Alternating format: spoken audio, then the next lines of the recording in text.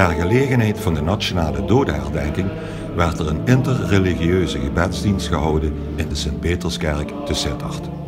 Van harte welkom u allen in deze stadskerk van de Heilige Petrus. Op deze avond waarop wij de gevallenen willen gedenken van de Tweede Wereldoorlog en hen die om het leven kwamen bij gewapende conflicten in de jaren daarna. Namens de Joodse gemeenschap sprak de heer Ernst de Reus. In de periode kort na de holocaust hadden veel Joden de hoop en de verwachting dat antisemitisme geen kans meer zou krijgen. Dominee Jolien Lievers, voorganger Ineke Gerritsen en deken Rob Merks spraken de zegen uit. God zegent u met kracht om trouw te zijn. Hij zegt u om God in de ander te blijven zien. Zo zegene u God, de Vader, de Zoon en de Heilige Geest. Amen. Onder begeleiding van de stadsschutterij Sint Rosa werd in een stille tocht naar het monument op de markt getrokken, waar door burgemeester Verheijen een krans geplaatst werd. Na de kranslegging op de markt werd er verder getrokken naar de algemene begraafplaats.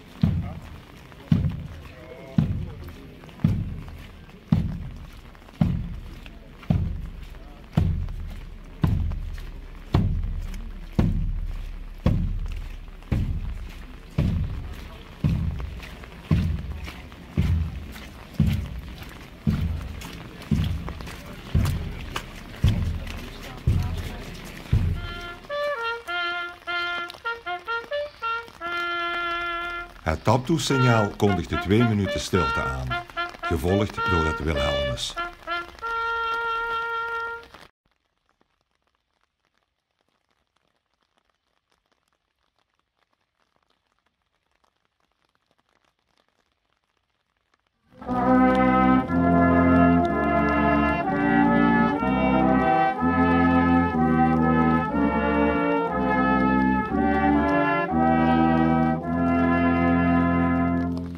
Door verschillende organisaties werden daarna kransen gelegd, te beginnen met burgemeester Hans Verheijen.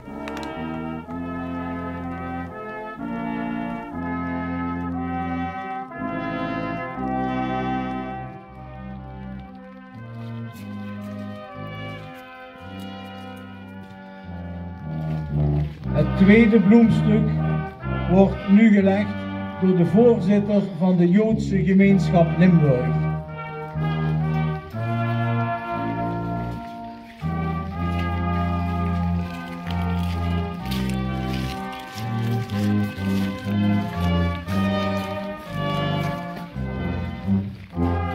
Er wordt nu een krans gelegd namens het oorlogsgravencomité Sittard.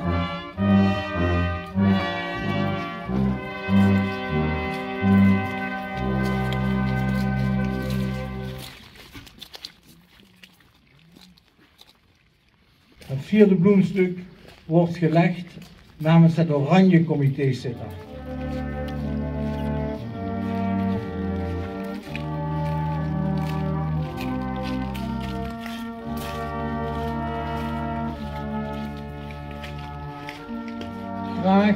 Nodig ik de vertegenwoordigers van het Rooms-Katholiek Dekenaat, de Protestantse gemeente en het Apostolisch Genootschap uit om de bloemen aan te bieden. Zij zullen dit in eensgezindheid samen doen.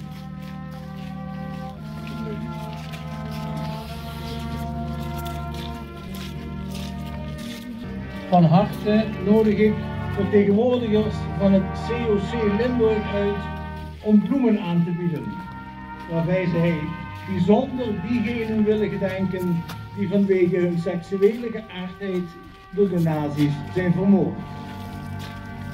Het volgende bloemstuk wordt aangeboden door het bestuur van de stichting Stolpersteinen.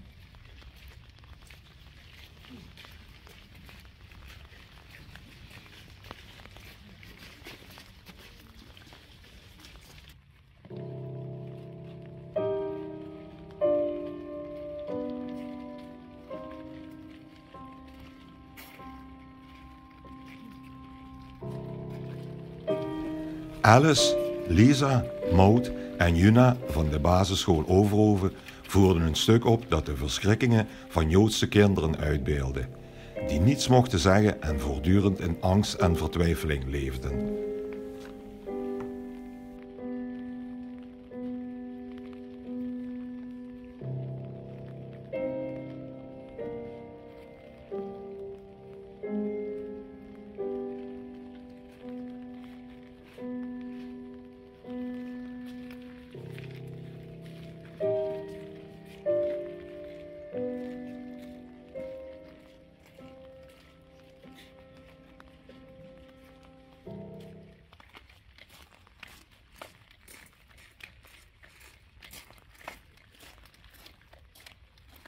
Tien